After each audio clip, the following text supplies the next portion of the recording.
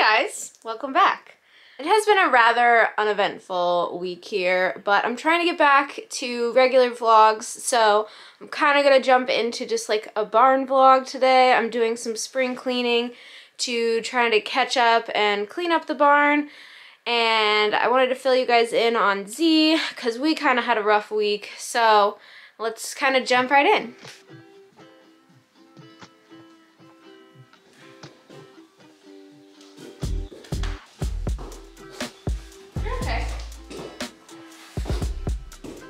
As you may be able to see by my slew of wraps and medications, um, it's been an interesting week. But I'm just gonna get a couple, I'm gonna get him started to Bemer and then I'm gonna jump into uh, finishing a couple chores before I catch you guys up on what's been going on with him. The short version is I knew he was due for some of his arthritic injections and maintenance, uh, but he started acting really aggressive towards me this week and very much not himself. So I had the vet out and it would appear that he has a pretty bad Lyme infection. So we're treating that and I'm trying to give him a little bit of downtime because um, he is not an aggressive horse and he was like wanting to lunge at me in the stall and just be like really, um, he was just really unhappy. So I'm trying to give him some quiet time and uh, he stayed in last night because with all of the sensitivity and pain in his body from the Lyme, he uh, seemed to be um, really tired from the overnight turnout. So uh, then he also cut his leg open. I'm kind of just diving in, even though I said we'd get back to this. Um, he cut his leg open. I made a doctor that yesterday, and I'm giving him meds orally. So it's just been a lot of fun. It's been a long week for us. But that's such a typical day in my life, so I wouldn't expect anything less. If you own a horse, you know all about this. So um, we live in trying to get to the camera angle better. It's a little wonky right now. Maybe that's better. We live in New England, so if you live pretty much anywhere on the east coast of the United States, you know about Lyme disease. And I did have them tested in the fall, but we've had a rather warm winter here with minimal snow. It did snow this week, but minimal snow. So we're kind of in a weird place uh, where the ticks are still out and um, my dogs had tick-borne illnesses, my horses have had tick-borne illnesses. Um, I'm grateful I have not gotten anything tick-related, but it's a really big problem with the animals up here. So if you live uh, in an area of the United States where you deal with that, then you know how frustrating that can be and how kind of, what's the word I'm looking for? Uh, erratic their behavior can be. Um, like I said, out of nowhere, he became very aggressive and painful to touch anywhere on his skin. You know, I would just touch his neck and he was like really reactive. Um, and then the last couple days before the vet came, uh, when I got on him, he didn't even like want to go for a walk. He was just like planting his feet and like angry. And I had the body worker out too. So it's just been a long week for us. He's currently he was just spooking at somebody riding. He's so silly. Anyways, that's kind of to catch you guys up on him. I'm kind of babying him and coddling him and medicating him and working with the vet over the next couple weeks. It's just Smith, buddy. Uh, to get him back into a happy place and uh, riding again. Uh, thankfully, the vet says his top line and his muscle and everything else looks really great. So we're on the road to the right place and getting ready for the season, but he just needs a little bit of Doxy to get that Lyme out of his system.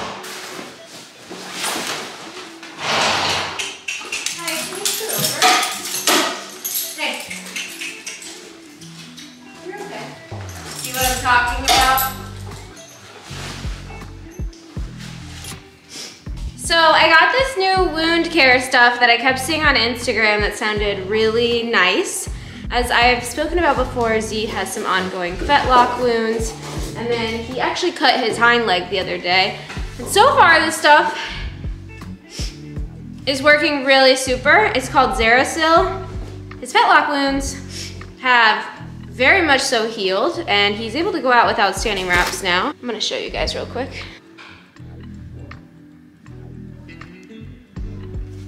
So, um, that's great news and I really like this product. I uh, went out on I went out on a limb buying it because you can only buy it from this company specifically and it was kind of expensive, but it definitely seems to be working, so I highly recommend. Um, if you are someone who deals with wounds often, this has definitely been helping. I also will try to do like a before and after of his leg wound.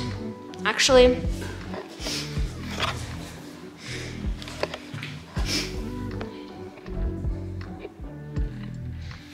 let's see if we can unwrap it right now.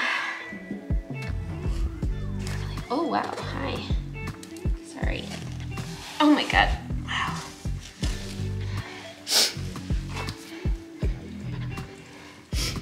So this was all bloody and gross yesterday and I cleaned with a betadine scrub.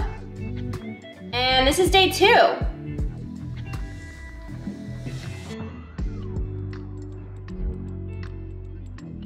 So considering how good it looks after only one application of this stuff, I don't know, I'm a big fan. Um, so yeah. Anyways, moving on.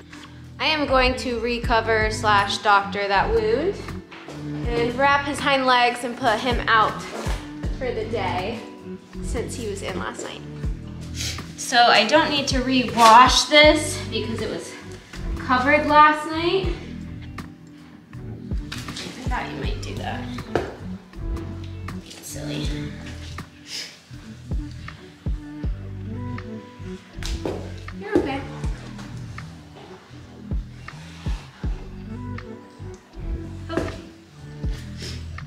Key is to get the bandage on before he has the chance to flinch around.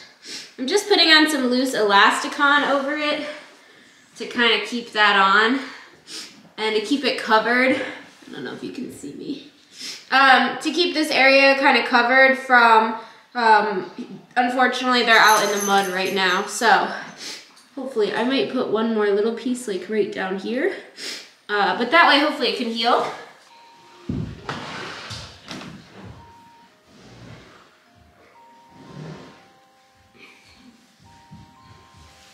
I don't, I don't know if this will work, but I'm trying it. And honestly, I don't know if it's worth it to wrap his legs. I'm trying to decide if I want to dirty standing wraps in the mud.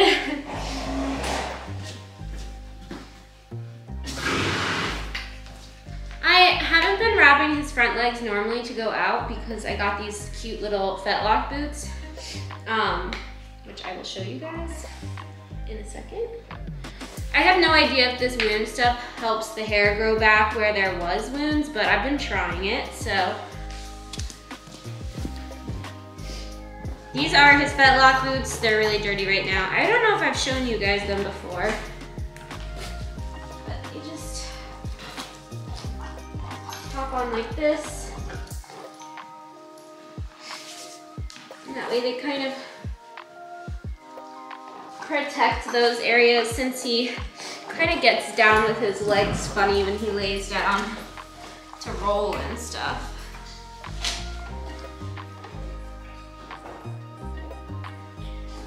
I'm just trying to get to a point where I'm not wrapping him in standing wraps all the time.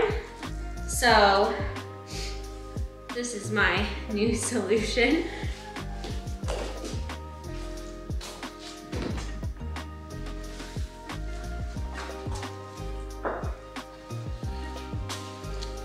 Also working on strengthening these hooves in this terrible soft footed weather. I need to, someone recommended turpentine mixture. Need to look into that. Ask my farrier what he thinks. Okay, now I'm just gonna dress him to go outside and then I have some chores to do. I feel like I'm constantly checking the weather. At this rate,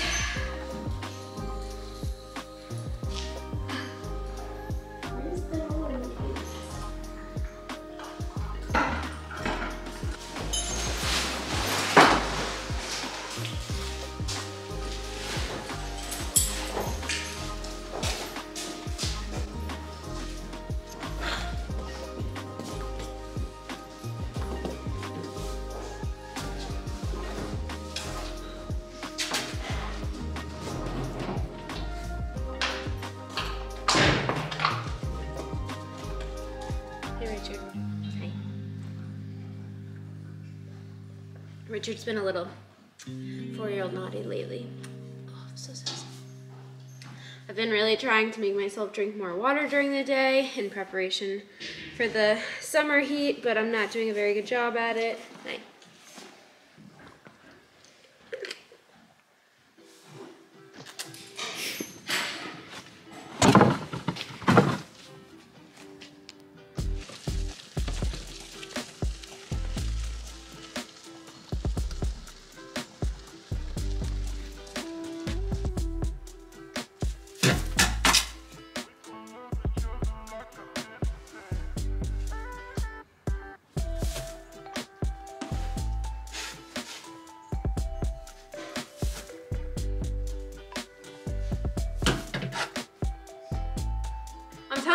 Some days I don't even know where the day goes because suddenly I'm feeding horses and turning horses out and like the day is over. So I'm just trying to uh, do evening barn chores now.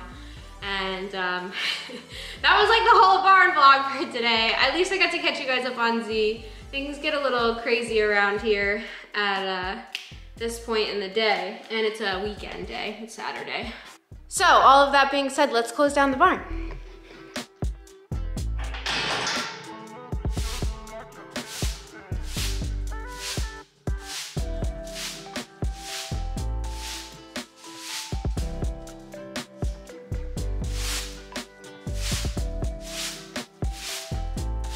Just lunged Richie in the indoor, so I was giving him a few minutes to cool down before I put his blankets on and put him outside. Wasn't sure if you guys could see me putting on blankets at this angle, but hey, I kind of like it. Richie's pretty tall though. He has to be close to 17 hands now.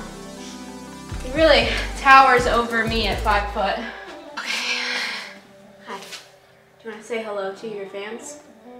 You want to tell them that you were naughty this week? He was actually pretty good today though. I'm gonna go bring Goose in and then I can put him outside. you can't really see me at this angle, huh? Hello.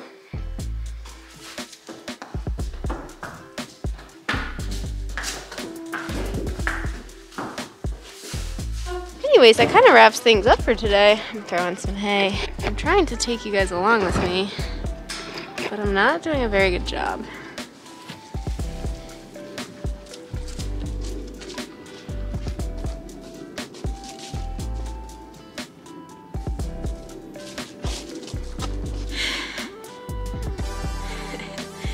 Anyways, thanks so much for sticking around for this vlog. It was all over the place and mostly just about Z.